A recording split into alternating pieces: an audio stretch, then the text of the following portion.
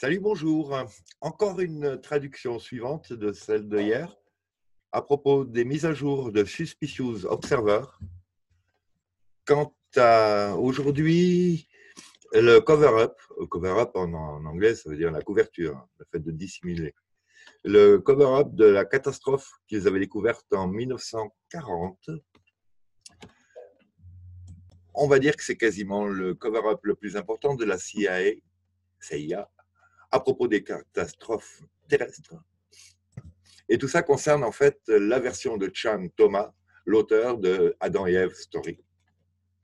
Et il y a quand même une petite animation là que je vais vous mettre. Elle est en accéléré, mais bon. Hein. Vous voyez le globe se faire remplir et puis soudain basculer gentiment. C'est un petit peu ce qui pourrait se produire. Euh, bon, vous le savez, hein, ça fait que deux, trois fois qu'on en parle. Il y a un autre sujet aussi. L'autre jour, ils ont étudié euh, une certaine dynamique de rotation des objets dans l'espace quand ils sont euh, tout seuls en train de tourner sur eux-mêmes dans, l'espace, dans le vide. vide. Et euh, par exemple, dans la station spatiale internationale qui est dans le vide, dans celle qui est dans le vide en tout cas, dans une qui est dans le vide, on va dire. vous imaginez une poignée de portes, une poignée de placards, hein, simplement l'axe carré et votre poignée comme ça et il y a un astronaute qui la dévisse. Donc, elle sort de son habitacle, de son logement, en tournant, et puis elle quitte la surface euh, du, placard, du coffre, de la porte, et, elle, là, elle est dans l'espace. Et elle, continue avec son mouvement tournant qu'on a donné pour la faire sortir de son logement.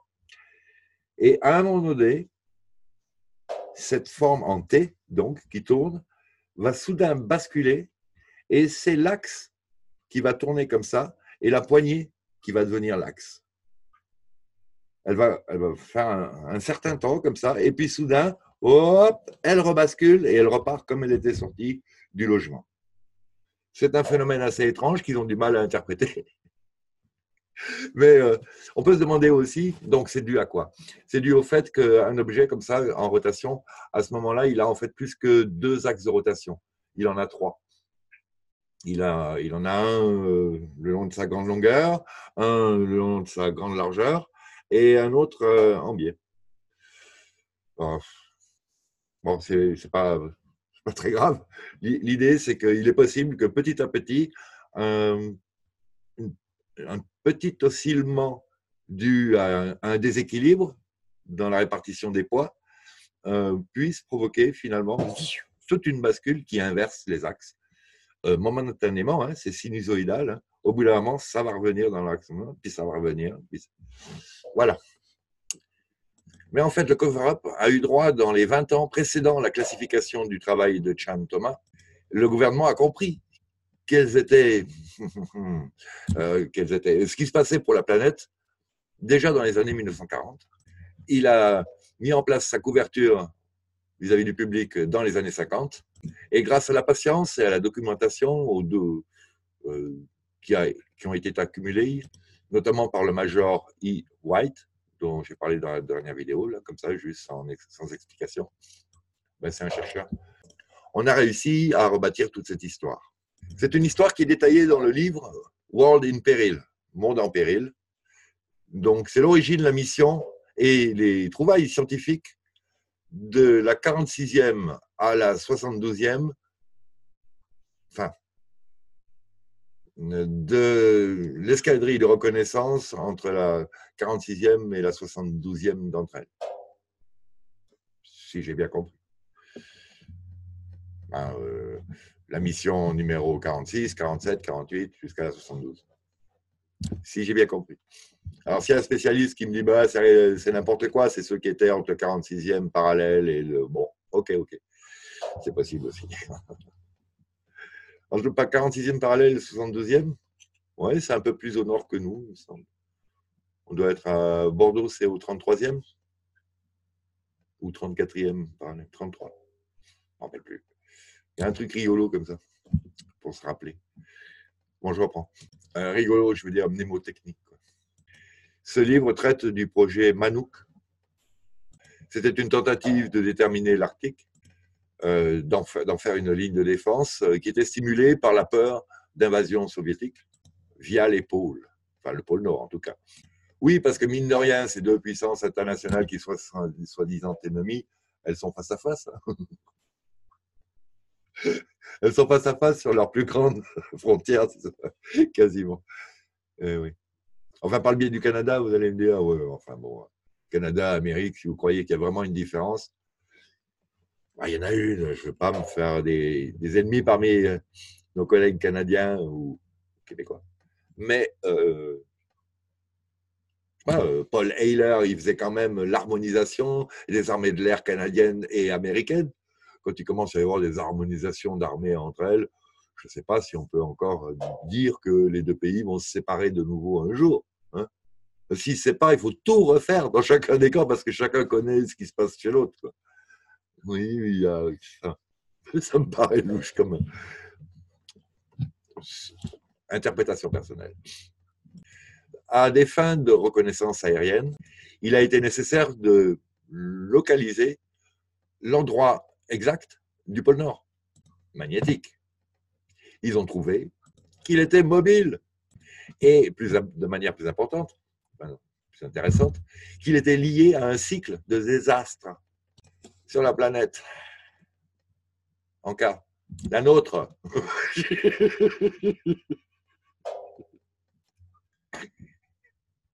Pardon. Euh, ce major, qu'il appelle Madeley White, je crois, a mené la, mission arctique et était au commandement des scientifiques qui ont étudié les pôles et les preuves des désastres du passé, de par le passé. Les désastres cycliques, en quart, sur notre planète. Bon, je vais arrêter. Le major euh, Steve, White Steve, le major what? Maynard E. White led the mission to the Arctic and commanded the scientists who studied the pole and the evidence of disaster. Disaster? Major White's team believed. Major White's team, oui, il pensait qu'ils avaient trouvé l'épreuve de, des catastrophes cycliques et qu'ils avaient trouvé sur Terre la couche qui correspondait à la dernière, à la dernière catastrophe, au dernier événement. Ils ont trouvé les coraux tropicaux en couches alternées, suggérant que la Terre bascule des rapports et des documents du Major, du Major White qu'on trouve au Pentagone font le détail de comment est-ce que le gouvernement a pris les informations, les a interprétées, a fait des conclusions surprenantes. Ils ont déterminé que le cycle était approximativement de 12 000 ans. Et là, j'ai un peu du mal à comprendre, mais au lieu de trouver neuf désastres, ils en ont trouvé en, en fait cinq un de ces désastres avait fait craquer une entière euh, couche et les avait propulsées les unes sur les autres, truquant finalement euh, non seulement les scientifiques, mais toute la région locale, et cachant finalement la, la puissance et la réalité de cet événement. Ils ont aussi déterminé que la Terre bascule très rapidement et rebascule en place par la suite selon les mêmes, euh, à la même position qu'avant. Les pôles reprennent la même position qu'avant après. Ce qui explique que finalement on a du mal à, admettre que ça a bougé. Parce que ça, voilà quoi. Et personnellement, ça me rassure, ça me rassure, façon de parler. Et ce serait vraiment, vraiment, vraiment la même position. Hein. Puisque les pyramides sont tellement bien orientées qu'elles sont plus vieilles que 12 000 ans et qu'elles sont toujours orientées au nord. Moi, je pense que sinon, euh, ça bouge quand ça revient. Bon, c'est pas tout à fait le même nord, mais hop, zut, les pyramides sont toujours bien orientées en face. Ben, c'est parce que voilà, ça doit revenir vraiment en face, en face, ou, ou l'idée qui vient me traverser, ou c'est l'installation des pyramides, ce système de pyramides au-dessus de la surface du sol, ainsi que sûrement en dessous de la surface du sol. Eh oui, à l'envers. Terrible. Euh, c'est ce système de pyramide installé sur la Terre euh, par les anciens bâtisseurs depuis, on va dire, 270 millions d'années. Pourquoi pas? Euh, Je ne dis pas que c'est les mêmes, hein, ils ont pu en refaire de temps en temps. qui, lui, fait en sorte que quand la Terre reprend une, une rotation qui pourrait être aléatoire. En fait, elle ne va pas du tout être aléatoire. Elle est guidée par les, pyramides qui sont comme des petites masses lottes euh, de plomb le long d'un pneu qu'on veut équilibrer. Hein.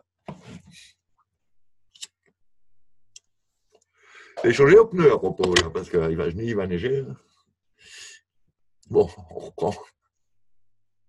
Donc les pôles reprennent leur position ancienne et ça peut durer pendant des centaines de millions d'années. Et pourquoi est-ce qu'ils ont l'air d'être là depuis des centaines de millions d'années? Parce qu'ils étaient là depuis des centaines de millions d'années. Ben, ils bougent et ils reviennent au même endroit. Donc on va dire, eh ben, ils étaient quand même là. Mais ça bougeait. Alors je ne sais pas pour combien de temps. Hein. parce que pour trouver une couche de coraux tropicaux, quand même, il faut que ça reste un certain temps euh, dans l'autre sens. Je ne sais pas, le temps qu'une couche de corail se forme. Alors, euh, 3615 code Cousteau, euh, qui n'en veut. Alors, euh, combien de temps euh, ben, Ça dépend du corail. ça dépend de la couche. Hein J'en connais un qui en tient une bonne de couche.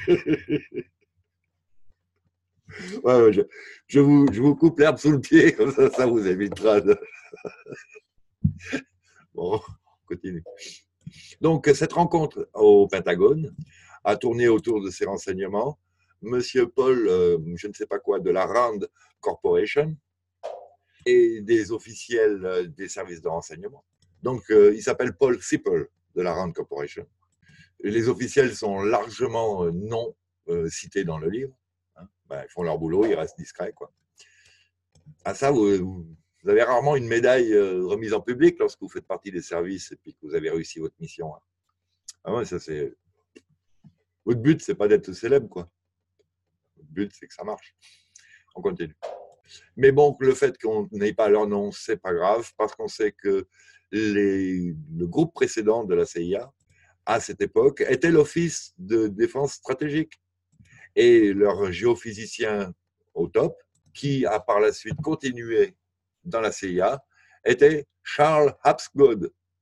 Et M. Charles Hapsgod, là, il a bossé en public et il s'est comporté comme un, en public et c'était sa mission.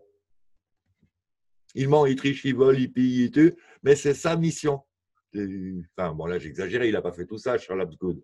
Il a juste euh, décrédibilisé une théorie qui valait le coup pour placer la sienne, qui, par la suite, a été débunkée.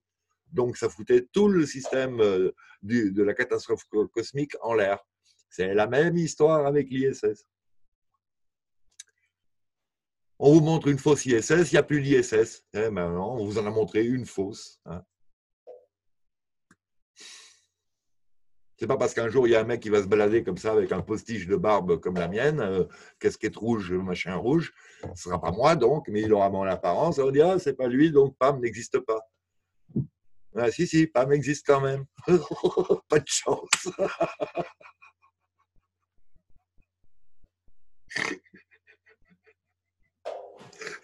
Bon. Ah, vraiment pas de chance.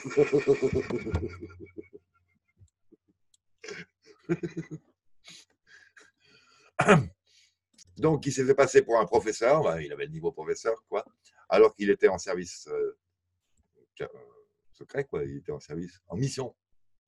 Donc, c'est la personne qui a dit au monde entier qu'un petit déplacement qui se serait déroulé il y a 5000 ans que des déplacements prenant 5000 ans pour se dérouler tout entier, chaque 25 000 ans. De toute façon, il a dit des conneries, hein, donc c'est pas très grave, mais bon. C'est la même personne qui a aidé le Pentagone à conclure que c'était une bascule rapide, avec retour tous les 12 000 ans.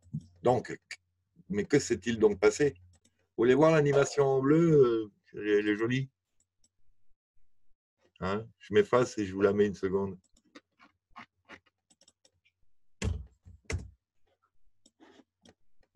Oh. Euh. La beauté des catastrophes naturelles. Euh. Un volcan, c'est une certaine magnificence. Hein. Ouais, ouais. Bon, on va, va pas aller trop loin quand même non plus, parce que sinon. Euh. Donc, que s'était-il passé? Eh bien, quelque part, entre ces dossiers classifiés et ces déclarations publiques qui ont été introduites par Albert Einstein, dont Albert Einstein avait fait l'introduction. Dans un livre, on appelle ça la préface.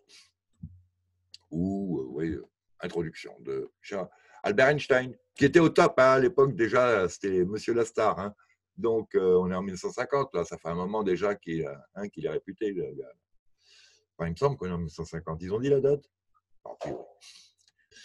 Euh, qui a réussi à reprendre le champ entier du catastrophisme? L'histoire a changé, a perdu son événement de, de bascule-retour, qui remettait le pôle dans sa position d'origine, et donc par la suite a été aisément débunké, faisant tomber tout le champ entier d'études en une fois. Ça a permis de jeter le bébé avec l'eau du bain. C'était super pratique, nous dit euh, Suspicious Observer, Ben Davidson. Et en fait, c'était leur plan. Après tout, alors que ce champ d'études avait été déterminé comme euh, euh, devant se planter, Chan Thomas a quand même essayé de nous raconter la véritable histoire et son bouquin a été classifié. Donc, quelle est la, partie vraiment importante de la couverture ici? La couverture, je rappelle, hein, c'est la dissimulation. Je dirais que Chan a été la dernière voix, a été tue, silenciée, silence, a été, a, été étouffée parmi énormément d'autres dont nous n'entendrons jamais parler. L'histoire du Major White est la clé car elle nous dit qu'Abgood connaissait la vérité et qu'il a menti à son sujet tout en paradant au sein des groupes de professeurs. Ben, je suppose qu'il a même une médaille, non un, prix Nobel ou un, hein, truc dans le genre. Oui, oui, mais c'est tout faux, tout faux. Les prix Nobel, euh, ah, il faut regarder une, courte, hein, je crois qu'elle dure 20 minutes, vidéo de François Asselineau à propos du groupe qui attribue les prix Nobel et de leur immuabilité depuis des années et des années. On dit qu'ils sont 5 et puis en fait ils sont 6. Euh, les 5 peut-être qu'ils bougent un petit peu, mais le sixième il bouge jamais. Mais on en est où là? Tout ça parce qu'ils gèrent la fortune de Monsieur ex-Nobel. C'est une catastrophe. Donc, on reprend l'histoire du Major White et la clé. L'histoire nous dit que Abgood connaissait la vérité, qu'il a menti tout en jouissant de tous les honneurs, alors qu'il continuait à travailler pour la CIA. Il était en mission et il ne continuait pas. De toute façon, on n'a jamais fini, il semblerait. Même si vous êtes un artisan civil euh, sous-traitant, si jamais un jour vous avez bossé pour, ils vous tiennent, quoi, en fait. Bon, on continue le debunking majeur du travail d'Abgood, de manière intéressante, est quand même venu largement de la CIA, de certains départements, comme celui de Columbia. Donc, du, du département de contrôle de la CIA, c'est lui qui a débunké Abgood, et notamment donc le cover-up. Ces gens-là pensaient soit cachés, soit exposés. Tout ceci a été détaillé dans la vidéo d'une heure qui s'intitule Cosmic Disaster et qui me semble euh, qui est celle que Ben Garneau a traduite. Et donc, bon, comme c'est une traduction de l'anglais en français, euh, on peut lui faire confiance s'il traduit le document original. Ce qui ne veut pas dire que le document original soit vrai, hein, mais je veux dire que sa traduction est fiable. Pardon, je fais juste cette petite précision parce que de temps en temps, je remets en doute certaines des sources de Ben Garneau, notamment le docteur Albert ou des trucs comme ça, hein, et d'autres sites euh, internet qui, depuis 2011, font du putaclic avec Nibiru, La Planète X, Eisen, tout, tout. À chaque fois qu'il y a un truc qui sort, ça devient le top niveau là, de, breaking news, et publicité, publicité, jingle. Enfin bon, quelque part, pour moi, ça manque nettement de sérieux. Depuis 2011, minimum. J'en ai les dossiers, je les ai. Puis c'est pas le seul, hein. il, y en a, plein des gars qui ont parlé et qui disent des choses intéressantes, mais ils veulent toujours mettre une date. Et avec la date, il y a un léger problème. C'est que même s'il y a une date et que c'était prévu pour, vous voyez, demain, demain, je dois aller chez le dentiste, c'est pas vrai, mais bon, à 10 h voilà. Et euh, c'est prévu demain à 10 h Et en fait, j'y vais finalement à 9 h ou à, midi, ou j'y vais pas demain, j'y vais après-demain. C'est ce qui se passe. ça change rien. Quoi. Je ne sais même plus pourquoi je vous parlais du dentiste, là, pour l'histoire de, rendez-vous qui sautent et qu'on reporte. Oui, oui, ouais, de toute façon, euh, les chaînes que je critiquais, elles font la même chose. Elles passent du coq à l'âne. Et puis, ils vous vendent un t-shirt en plus. Hein. Moi, je ne vous vends pas mon t-shirt. Hein. Euh, il n'a pas de prix déjà. Quand même. Plus tôt cette semaine, nous avons parlé de ces deux études récentes en physique qui ont euh, boosté la nouvelle position polaire et la galaxie et le Soleil agissant l'un et l'autre un petit peu comme la main et la hache au bout, ou l'épée au bout, qui nous inflige le cataclysme. Quoi que ça vous prenne pour euh, vous mettre au courant, euh, je crois qu'il a dû dire quelque part débrouillez-vous pour être à peu près au courant avant que le prochain nous arrive sur la tête. Il est déjà en cours, le prochain cataclysme. C'est ce qu'on a un peu détaillé dans la précédente vidéo avec la bascule d'épaule en cours. Enfin, la bascule, le déplacement d'épaule pour l'instant. Gardez les yeux ouverts, n'ayez pas peur, nous dit-il. Alors, euh, en PNL, on ne dit pas n'ayez pas peur, on dit Bon courage. voilà, il faut laisser le mot positif. Hein. Le cerveau, il est bête, il ne comprend pas les négations. Si vous mangez quelque chose en disant c'est pas mauvais, ben votre cerveau, il entend plutôt mauvais. Il garde mauvais en mémoire. Et mauvais, mauvais, c'est pas juste pour la mémoire d'un truc qui serait mauvais. Non, c'est parce que le mot mauvais, il, il vibre moins fort que le mot délicieux, excellent. Et donc, vous avez une nourriture vibratoire, là. Vous entretenez un paysage qui est plutôt branché sur mauvais que sur délicieux, excellent. voyez? Et ça, ça a une importance aussi dans la façon de penser et dans l'énergie disponible au corps pour bien se maintenir. Bon, je crois que je vais arrêter tout de suite mon encart. Alors, euh, voilà. Qui nous l'a dit euh, Pas de peur, prenez soin de vous. Et je vous dis à très bientôt. De bonne humeur. Salut c'est renversant. Ciao.